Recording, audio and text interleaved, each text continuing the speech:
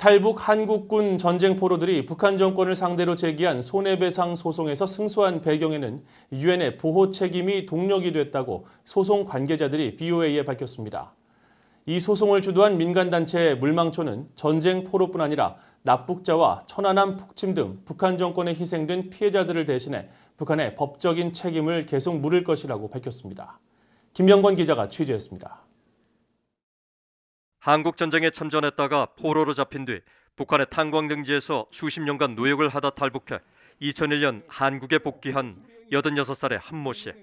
한 씨는 10일 BOA에 한국 법원이 지난 7일 자신과 또 한 명의 전쟁 포로 동료가 북한 당국과 김정은 위원장을 상대로 낸 손해배상 청구 소송에서 최초로 승소 판결을 내리자 이제야 한이 풀렸다고 말했습니다.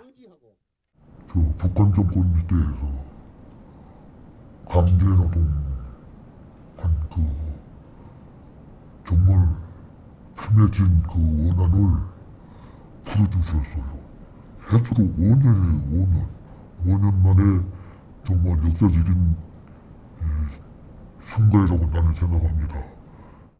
서울중앙지방법원은 앞서 이들에 대한 강제 노역 등 북한의 불법 행위에 대해 북한 당국이 두 사람에게 각각 2,100만 원씩 미화로 17,500달러를 지급하라고 판결했습니다.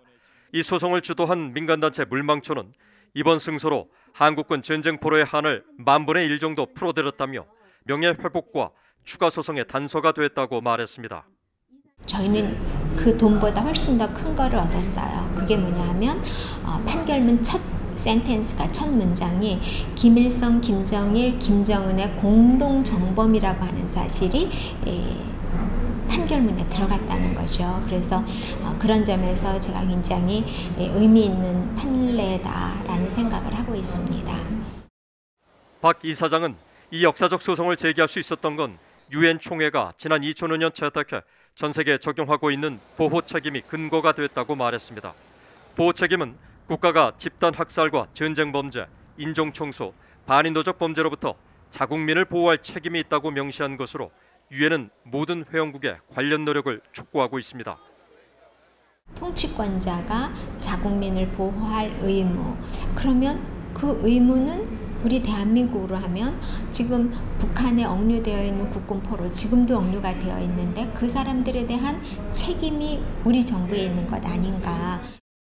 유엔과 한국 국방부 자료를 보면 한국 전쟁 중 한국군 실종자는 8만 2천여 명이지만 공산군이 최종 인도한 한국군 전쟁 포로는 8,300여 명에 불과합니다.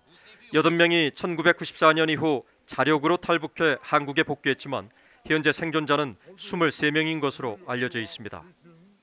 사실 그 장관들이 돌아가실 때 이구동성으로 이야기하는 게 이산의 통일된다음에 나를 고향에 갖다 묻혀달라. 그 사람들이 그렇게 다 죽어요. 그리고 얼마나 비속한 말입니까? 그게 보통 말로 그게 표현을 정부가 더 적극적으로 나서서 해결해 줬으면 좋겠습니다. 예. 박 이사장은 국내 사단법인 남북경제문화협력재단이 법원에 공탁 중인 북한에 지급할 저작권료 20억 원, 미화로 160만 달러를 받아내기 위한 추심 절차를 이날 시작했다며 이달 안에 배상금을 받아 피해자들에게 전할 계획이라고 밝혔습니다. 하지만 이 공탁금은 북한 당국이 자신들이 받을 돈을 경무협에 위탁한 것이란 입증 절차가 필요한 것으로 알려졌습니다. 물망초 측은 앞으로 납북자와 연평도 포격, 천안함 폭침 피해 등에 대한 법적 조치도 취할 것이라고 밝혔습니다. 전시 전후 납북자만이 아니라 연평도 포격, 천안함 폭침 이에 대한 북한의 책임을 반드시 물을 것입니다. 한국통일부는 앞서 이번 판결에 대해 법원의 판단을 존중한다며 정부는 국군 포로와 납북자 문제에 실질적 진전이 이루어질 수 있도록 남북 간 그리고 국제사회와 협조하면서 노력해 나갈 것이라고 밝혔습니다. 비에 뉴스 김영권입니다.